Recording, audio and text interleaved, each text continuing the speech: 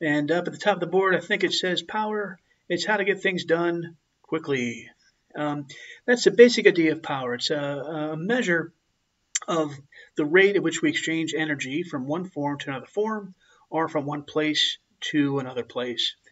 Um, and so, for your purposes, power is actually really important in terms of how you live your daily life. Uh, for physicists and engineers too, it's a usually pretty important idea, but uh, but still subordinate to this basic concept of, uh, of energy.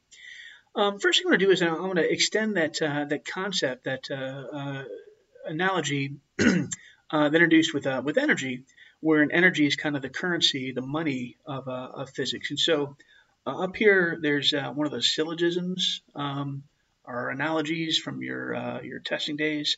if energy is money, um, power is like your salary. It's like your wage, how much you make per day, per week, per month, per year, uh, for whatever it is.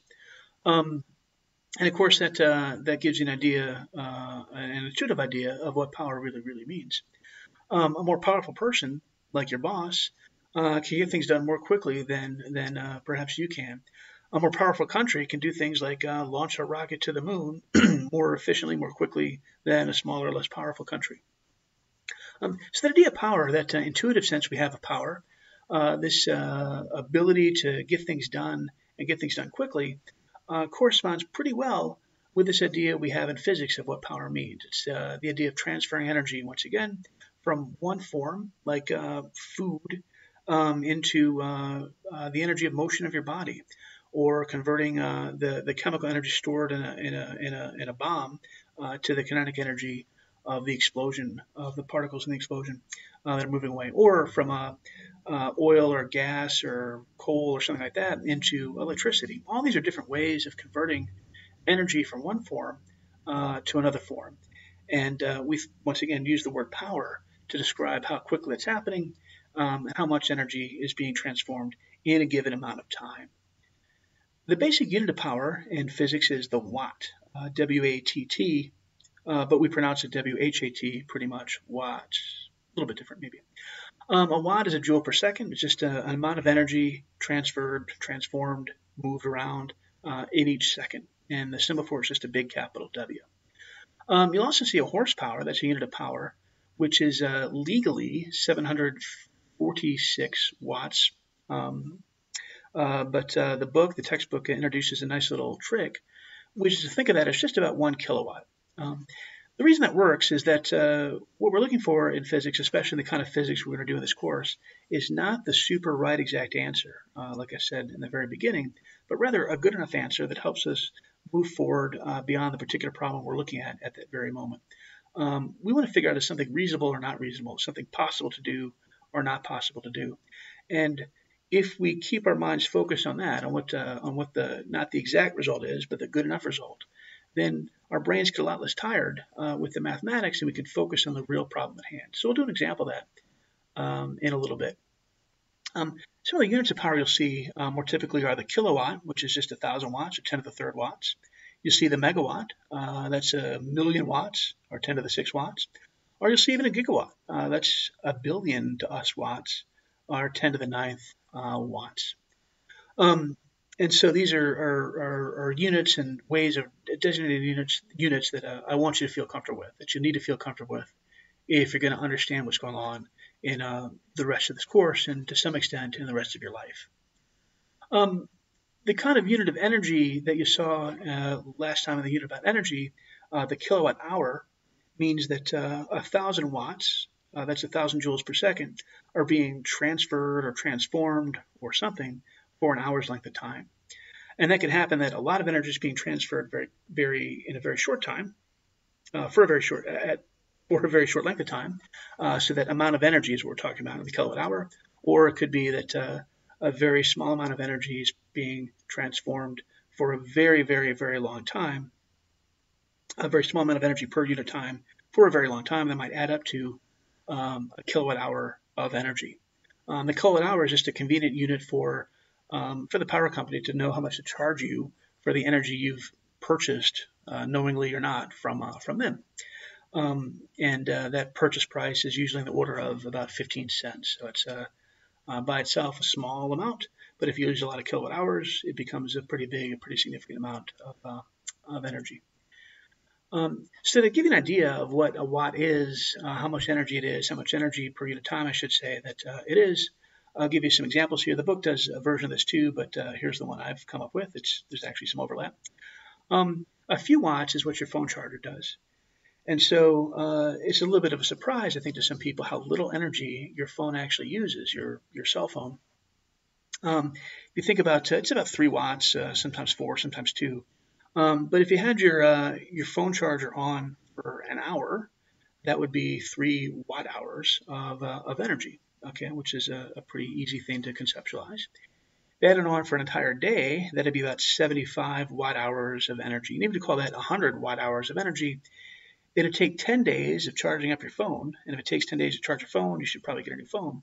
But 10 days to charge up your phone uh, with a kilowatt hour of, uh, of energy, if that's what it took. And that 10 days of plugging your phone in would cost you about 15 cents from the, the power company. Even though it seems like uh, you might feel like your phones use a lot of energy, in real life they don't.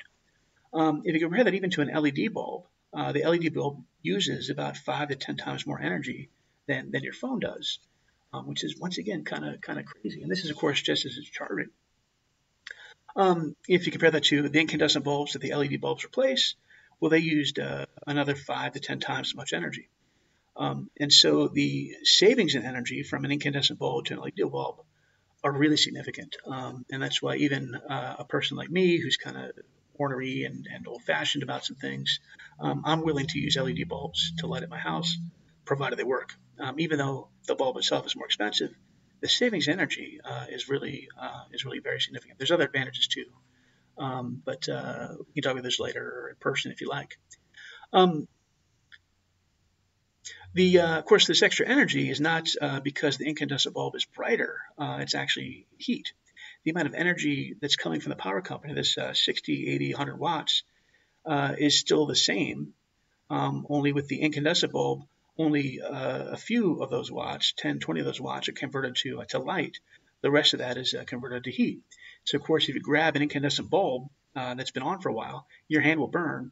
If you grab an LED bulb, it won't. Uh, and that's kind of a neat little, uh, neat little trick, uh, uh, a nice thing if uh, you're the kind of person that tries to grab bulbs for some reason.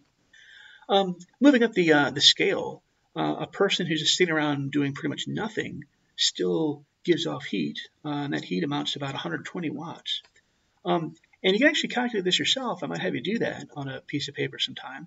If you think about um, how many calories of food you eat, that's a certain amount of energy, a certain amount of joules. And then over a day, well, a day has a certain amount of hours and seconds in it. Um, so you can calculate this exact number and figure out how much your resting power is. Um, compare that though to a person who's uh, running from a bear. Um, a, uh, a, a, healthy person who's uh, fit and trim uh, can generate about a kilowatt of power for a short amount of time, for a few seconds. Even I could do that uh, not too long ago. Well, long ago. Um, but if you uh, drive your car away from the bear, which is a little smarter, um, using a lot more power, about 25 kilowatts for your, your car. If you think of a power plant, a typical power plant is about 800 million watts.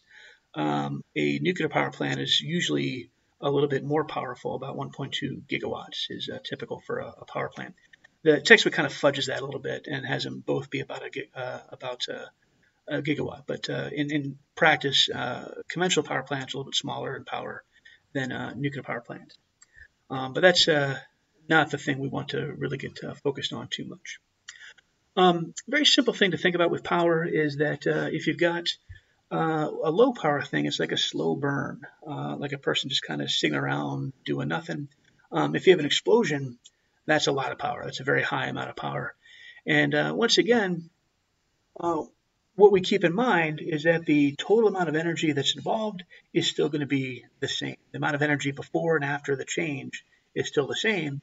What's different is where that energy is or what kind of energy we're talking about. So uh, if we talk about the, the food energy stored in the calories you consumed in that chocolate chip cookie, um, that's one form of energy. If you convert that into energy of you running away from the bear, uh, that's a different form of energy.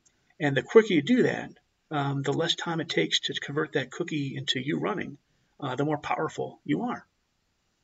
Um, so a real nice example this, or what I think of this, is uh, is which the sun. Uh, the sun is a very hot object. Uh, later on, we'll talk about, I'll talk about, we'll talk about a little bit too, um, how that heat is generated. Um, it turns out to be a pretty recent discovery. Um, and that heat from the sun, uh, we uh, observe it mostly as light, light energy. Um, it warms the Earth, in fact, delivers almost all the energy we have on Earth uh, through the emptiness of space. And even that, how that happens, is kind of a neat, uh, a neat little story for later. Almost all the energy we use ultimately has derived from the sun. Um, uh, the coal and oil, the fossil fuels, are just uh, energy absorbed by plants mostly. Um, that's compressed and stored in the form of coal or gas or hydrocarbons uh, deep under the earth. And then uh, we release that energy and convert it to some other kind of form. Um, the food we eat, all the food we eat, uh, the energy comes from uh, ultimately photosynthesis, uh, the sun um, giving energy to, to plants. Um, animals come and eat the plants, uh, or fish come and eat the whatever fish eat. Um, and even if we eat animals that eat other animals or eat, eat the animals that eat the plants, uh, the ultimate source of that energy uh, is, is the sun. Um, if we talk about wind energy, uh, the winds blow uh, because the sun warms air and causes these differences in air pressure that, uh, that we see as wind, as the air flows from one place to another place.